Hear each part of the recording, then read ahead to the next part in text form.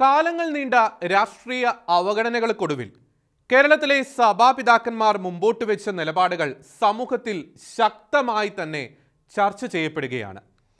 ക്രൈസ്തവരുടെ വോട്ട് ആവശ്യമായി വരുമ്പോൾ അരമനകളിൽ കയറിയിറങ്ങി മെത്രാന്മാരുടെ കൈമുത്തുന്ന കമ്മ്യൂണിസ്റ്റ് കാപട്യത്തിന്റെ തനി നിറം വെളിപ്പെടുത്തിക്കൊണ്ട് ഞാഞ്ഞൂൽ സഖാക്കൾ പോലും ഇപ്പോൾ ക്രൈസ്തവർക്കും ആലഞ്ചേരി പിതാവിനുമെതിരെ പ്രസ്താവനകൾ ഇറക്കിക്കൊണ്ട് സോഷ്യൽ മീഡിയയിൽ നിറഞ്ഞാടുകയാണ്.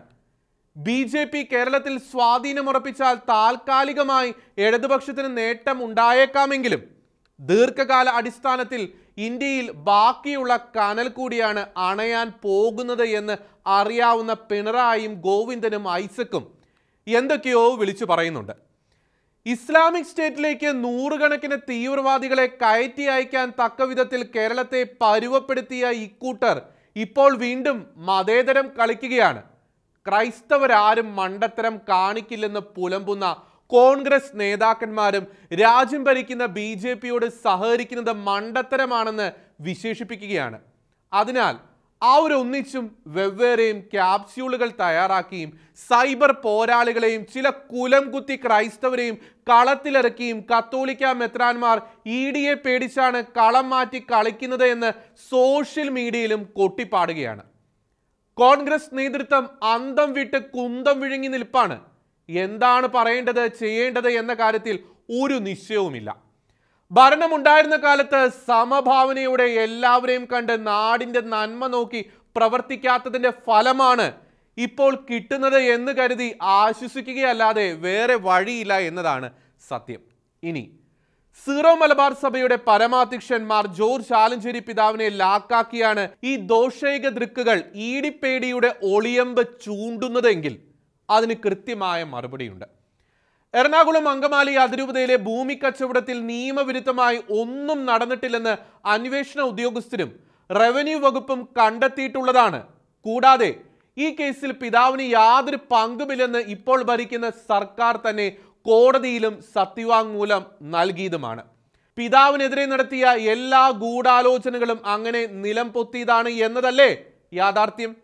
എങ്കിലും ഇപ്പോൾ സഭാ നേതൃത്വം ഇ ഡിയെ പേടിച്ച് ഇല്ലം ചുടുന്നുവെന്ന് തള്ളിമറിക്കുന്നവരുടെ അറിവിലേക്ക് ചില കാര്യങ്ങൾ. ഇ ഡി ക്രൈസ്തവരെ പടലയോടെ പൊക്കാതിരിക്കാനാണ് മെത്രാൻമാർ മോദി സ്തുതി പാടുന്നത് എന്ന് പാടി നടക്കുന്ന പാർട്ടി അടിമകൾ അറിയുക. ഇ ഡി ഇറങ്ങി കേരളത്തിലെ എല്ലാവിധ മാഫിയകളെയും സ്വർണക്കടത്തുകാരെയും മുഴുവൻ തൂത്തു കോരണമെന്ന് ആഗ്രഹിക്കുന്നവരാണ് ക്രൈസ്തവരും സഭാധ്യക്ഷന്മാരും. ഇവിടെ ഏതെങ്കിലും ക്രൈസ്തവൻ വിശുദ്ധ ബൈബിളിന്റെ കവറിനകത്തിട്ട് ഇന്ത്യയിലേക്ക് സ്വർണം ഇന്ന് വരെ കടത്തിയിട്ടുണ്ടോ? ശരീരദ്വാരങ്ങളിൽ നിറച്ച് വിദേശത്ത് നിന്ന് കേരളത്തിലേക്ക് സ്വർണം കടത്തിയവർ ആരാണ്? കത്തോലിക്ക സഭയോ മറ്റേതെങ്കിലും സഭയോ പാകിസ്ഥാനിൽ നിന്ന് കണ്ടെയ്നറിൽ കള്ളനോട്ട് കൊണ്ടുവന്ന് ഇന്ത്യയിൽ വിതരണം ചെയ്തിട്ടുണ്ടോ? അഫ്ഗാനിസ്ഥാനിൽ നിന്ന് ബോട്ടിൽ ശതകോടികളുടെ മയക്കുമരുന്ന് കടത്തിയതിന്റെ പേരിൽ പേരുദോഷം കേൾപ്പിച്ചത് ക്രൈസ്തവ സഭകളാണോ? ഗൾഫിൽ നിന്ന് നയതന്ത്ര ചാനൽ വഴി സ്വർണം കടത്തി ചെമ്പിൽ കൊണ്ടുപോയി എന്ന രാജ്യവിരുദ്ധ പ്രവർത്തനം നടത്തിയതിന്റെ പേരിൽ അന്വേഷണം നേരിടുന്നത് ക്രൈസ്തവ സഭാധികാരികളോ അതോ കേരളത്തിലെ ചില ഭരണാധികാരികളോ? രാജ്യവിരുദ്ധ പ്രവർത്തികളിൽ പങ്കെടുത്ത് ഇ ഡിയുടെയും എൻ എയുടെയും നോട്ടപ്പുള്ളികളായി മാറിയ എത്ര പേർ ക്രൈസ്തവ സഭാധികാരികളായി ശുശ്രൂഷ ചെയ്യുന്നുണ്ട് എന്ന് ഇത്തരം ക്യാപ്സ്യൂളുകൾ തയ്യാറാക്കുന്നവർ തന്നെ പറയാൻ ബാധ്യസ്ഥരാണ്.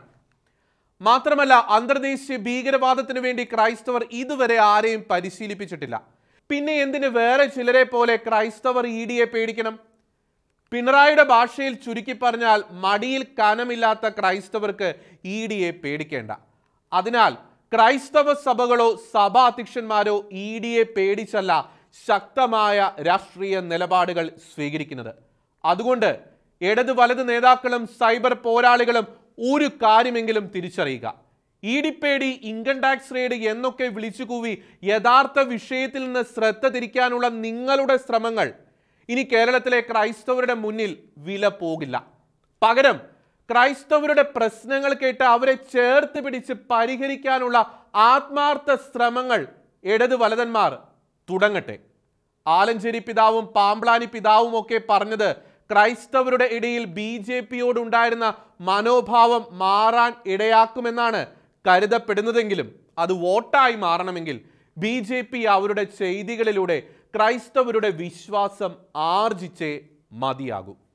കൂടാതെ കേരളത്തിൽ ബി ജെ പിക്ക് ശക്തമായ സംസ്ഥാന നേതൃത്വവും ഉണ്ടാകണം. എന്തായാലും ഇപ്പോൾ കാണുന്നത് ട്രെയിലർ മാത്രമാണ്. ശരിയായ സ്ട്രോക്കുകൾ വരാൻ പോകുന്നതേയുള്ളൂ എന്നാണ് കരുതുന്നത്.